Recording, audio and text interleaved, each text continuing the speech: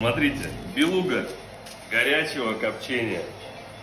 Сейчас мы ее рубанем. Вот такая вот, смотрите, красота. Мяско. Белуга.